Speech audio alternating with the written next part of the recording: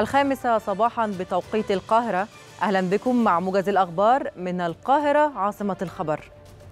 قالت مفوضة حقوق الإنسان الروسية تاتيانا موسكالكوفا إنها لم تتحدث إلى نظيرها الأوكراني ديمترو ليبونس في تركيا الأسبوع الماضي بشأن تبادل محتمل للأسرى.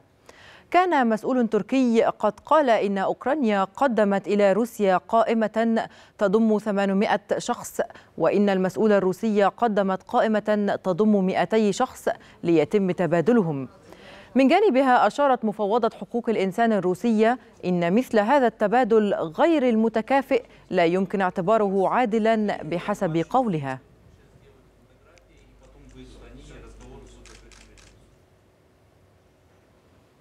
أعلنت رئيسة المفوضية الأوروبية أورسلا فوندر لاين عن نية الاتحاد الأوروبي فرض حزمة عاشرة من العقوبات ضد روسيا.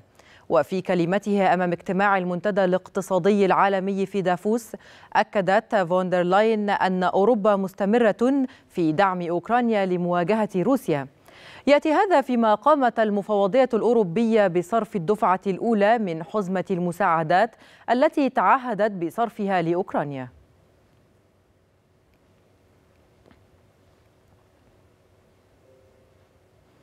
تبادل المستشار الألماني أولاف شولتز وجهات النظر مع الرئيس الأمريكي جو بايدن خلال اتصال هاتفي بشأن الوضع في أوكرانيا. هذا واتفق الزعيمان على أن الدعم الممنوح لكييف يجب أن يكون فعالا ومستداما ومنسقا بشكل وثيق.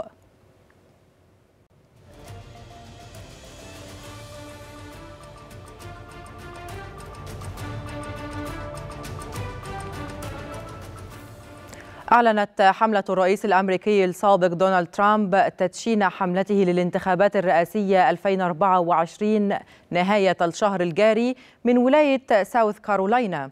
وسينضم لترامب خلال الفعاليات اثنان من أنصاره البارزين في ولاية ساوث كارولاينا وهما السيناتور الجمهوري لينسي جرام وحاكم الولاية هنري ماكماستر.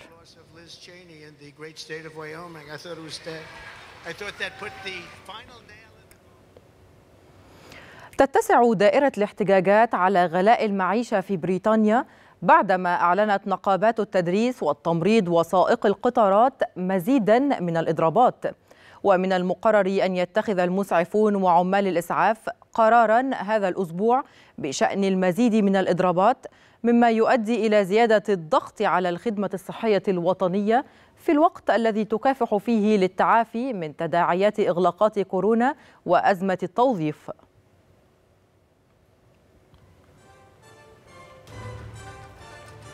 انتهى الموجز لمزيد من المتابعة. يمكنكم زيارة موقعنا الإلكتروني القاهرة نيوز dot net. كما يمكنكم متابعتنا على مختلف منصات التواصل الاجتماعي فيسبوك تويتر إنستغرام ويوتيوب. ويمكنكم متابعة القاهرة الإخبارية على تردد 11 747 vertical كما يمكن تحميل تطبيق القاهرة الإخبارية من خلال App Store أو Google Play أو من خلال ال QR code الظاهر على الشاشة. شكرا على طيب المتابعة. إلى اللقاء. هنا القاهرة عاصمة الخبر.